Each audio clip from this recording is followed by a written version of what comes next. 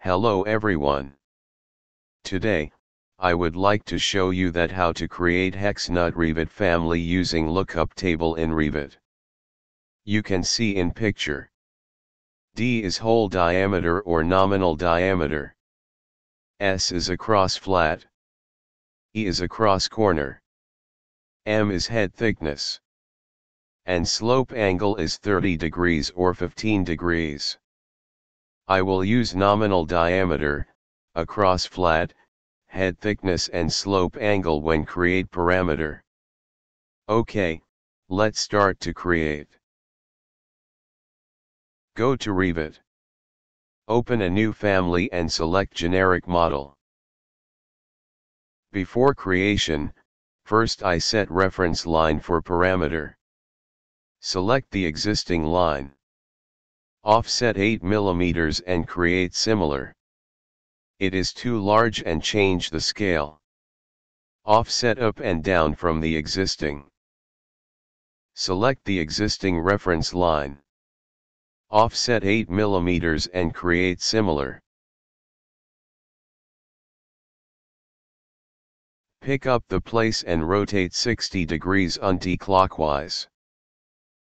And move down to center.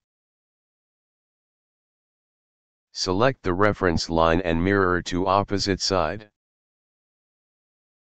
And pin the both reference line. Select the reference line. Offset 8 mm and create similar. Insert dimension center to end and make it equal. Insert dimension for parameter.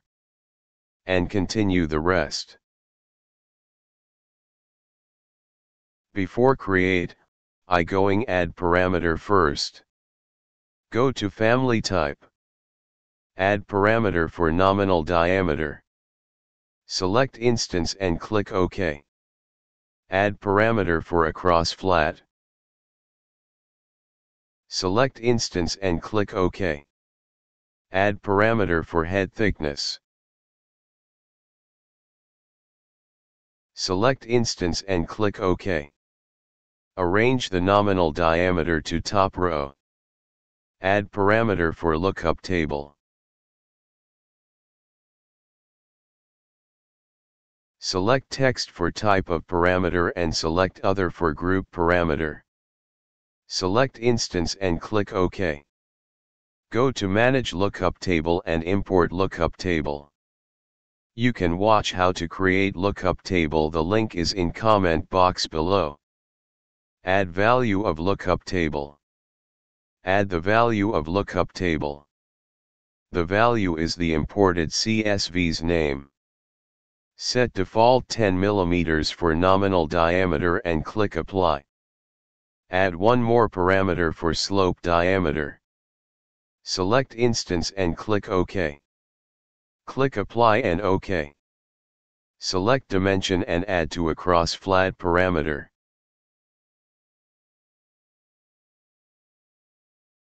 OK let's start creation. Go to create and select the extrusion. Draw a polygon from the center. Align to the reference line and lock it.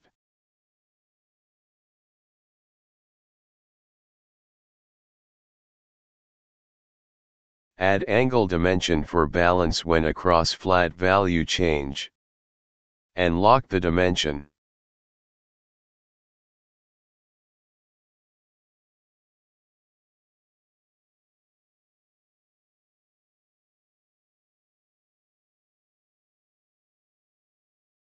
Finish the extrusion. Go to front view. Select the existing reference line. Offset 6.63 mm and create similar. Change the scale to 1 to 1. Insert dimension and add parameter for head thickness. Align the object to the head thickness and lock it. Check in 3D view. Go to family type and add formula for across flat parameter. Click apply. Add formula for head thickness parameter and click apply. Add formula for slope diameter parameter and click apply. Go to reference level. Select the object and edit the extrusion. Add angle dimension for the rest corner and lock it. Finish the extrusion. Go to front view.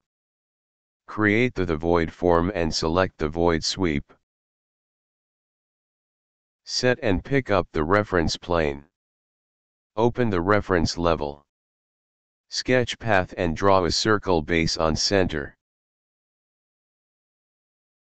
Insert diameter dimension. Set 20 mm as default. Select dimension and add to parameter for slope diameter. And finish the sketch. Go to edit profile and select left view.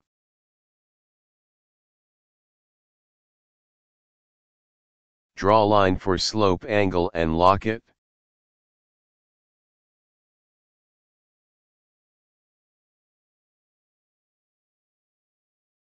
Insert the angle dimension. Change the scale to 1 to 1. And lock the dimension. Align to reference line.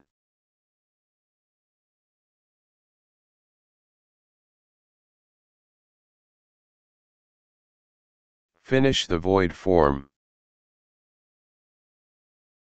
Go to 3D view. Check and play the nominal diameter. Parameter is working. Set back to 10 mm as default. Go to front view. Create void form and select void sweep. Set and pick up plane. Open the reference level. Sketch the path and draw a circle. Insert a diameter dimension and set 20 mm as default. Select dimension and add parameter for slope diameter. Finish the sketch path. Go to Edit Profile and open the left view. Draw the line for slope angle and lock it.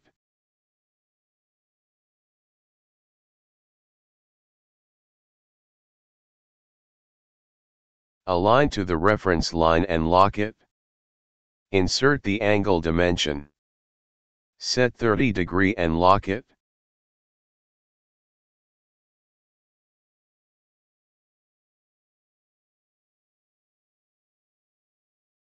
Finish the void form.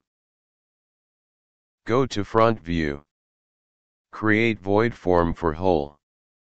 Select the void extrusion. Set reference plane and open the level. Draw a circle base on center and insert diameter dimension. Select dimension and add parameter for nominal diameter. Finish the void extrusion. Go to 3D view. Check and play the parameter.